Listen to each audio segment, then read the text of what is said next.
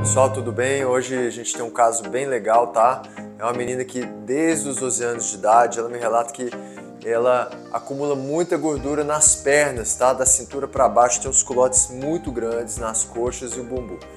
Então, o sonho dela é reduzir toda essa gordura e não ter flacidez. E é por isso que ela me procurou, né? Porque ela sabe que eu trabalho com o Vibrolipo, ou Vaser ou Renuvo, são as tecnologias de retração que a gente tem hoje, tá?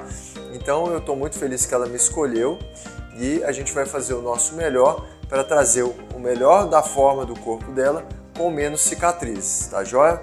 Vamos lá!